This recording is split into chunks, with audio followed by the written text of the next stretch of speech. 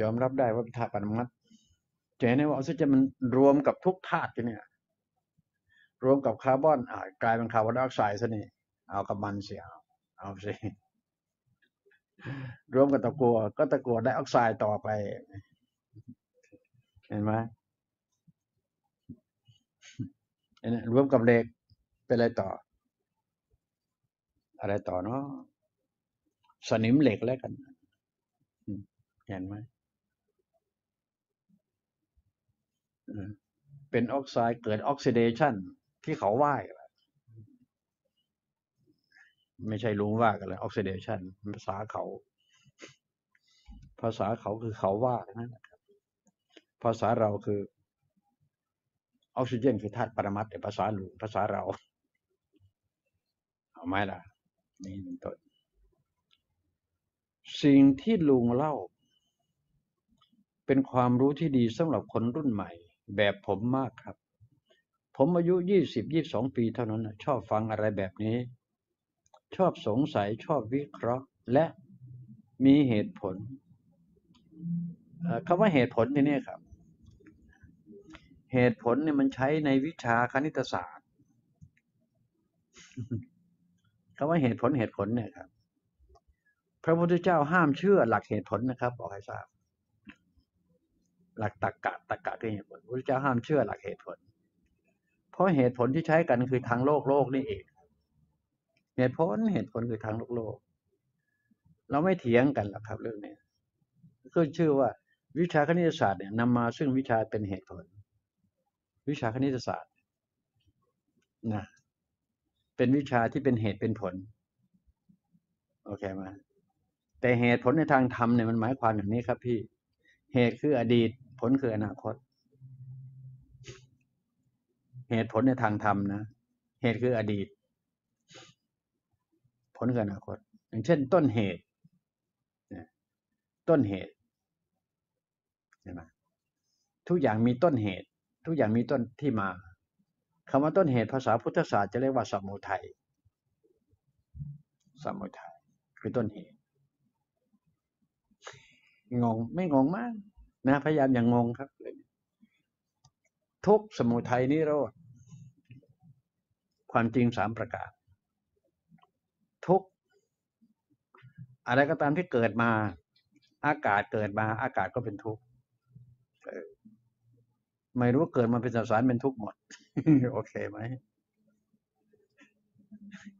ทุกตามภาษาพุทธศาสตร์นะครับ พุทธศาสนา เกิดมาเป็นตัวตนเป็นทุกข์หมดอากาศเกิดมาเป็นตัวตนก็เป็นทุกข์ทั้งทั้งที่เรามองไม่สามารถมองเห็นมันด้วยตาเนี่ยแต่มันก็เป็นทุกข์ใช่ไหมครับ แม้แต่ไอ้เจ้าพลังงานเนี่ยสสารพลังงานไม่บริสุทธิ์ก็เป็นทุกข์เหมือนกันใช่ไหมภาษาอย่างนี้เป็นภาษาที่เข้าใจยาก อย่างที่ไหนรู้หมอ ฮ้ยอากาศเป็นทุกข์เว้ยเคยได้ยินไหมครับให้พลังงานไม่บริสุทธิ์เป็นทุกข์เว้ยไม่เคยได้ยินหรอกมีภาษาลุงเนี่ย ภาษาคิกก๊อก ไม่เปลี่ยนคำพูดด้วย เวลาพูดแล้วไม่เปลี่ยนแน่ๆนะครับ ถ้าไม่เป็นทุกข์กันทีเนี่ยก็อากาศ ถ้าไม่เป็นทุกข์นะก็คือพลังงานที่บริสุทธิ์แล้วจะไม่เป็นทุกข์เลย มันบริสุทธิ์แล้วไม่เป็นทุกข์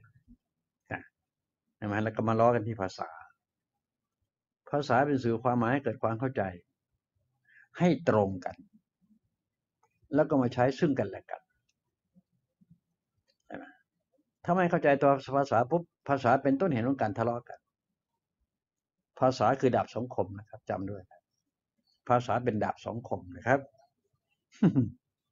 เห็นไหมครับ พอได้ไหมครับ ผมปฏิบัติตามความนี้ ทางโลกกับทางธรรมต่างกันอย่างไร ทางโลกคือจับต้องได้ เรียกว่าสมมติสัจจะเข็มก็เป็นทางโลก แม้แต่อากาศเนี่ยเราจับมันไม่ได้ ก็เป็นทางโลกอากาศ ถ้าทางธรรมก็ต้องไม่ไม่มีอากาศก็คืออวกาศใช่ไหมนั่นคือนั่นคือทางธรรมคืออวกาศ อวกาศก็ยังเป็นภาษาอยู่เห็นไหม อวกาศอวกาศคือสถานที่ที่ไม่มีอากาศ สถานที่ที่ไม่มีอากาศ คือศูนยากาศใช่ไหม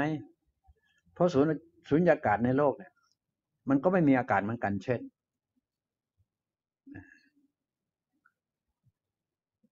มีถังใบหนึ่งดูดอากาศไปให้หมด ข้างในถังใบนั้นก็คือเป็นศูนยากาศศูนยากาศศูนยากาศคือ สถานที่ที่ไม่มีอากาศ แต่ทั้งหมดอยู่ในท่ามกลางของอากาศ ไม่งงนะ หลอดไฟนี่ก็เป็นสุญญากาศ หลอดไฟ นะ แต่ทั้งหลอดไฟก็อยู่ในอากาศ อยู่ในท่ามกลางของอากาศ รอบๆแต่ถ้าเป็นอวกาศตัวเนี้ยเหนือโลกนะครับ นั่นคือเป็น เป็นอะไรเป็นสิ่งที่บริสุทธิ์ อวกาศนี่คือบริสุทธิ์ครับจำด้วยจำหน่อยฮะจำหน่อย อวกาศนี่คือสิ่งที่บริสุทธิ์นะถ้าเทียบคำว่าพระธรรมก็คืออวกาศคือพระธรรมนะครับ อากาศเป็นธรรมะ ธรรมะที่ว่านี้คือธรรมชาติ อากาศคือธรรมะ ธรรมะที่ว่านี้คือธรรมชาติเห็นไหมครับ พยายามเข้าใจพวกนี้ทีละน้อยสองน้อยครับผม ทีละคำสองคำเนี่ยฮะมันจะเข้าใจมากขึ้นมากขึ้นเองนะฮะ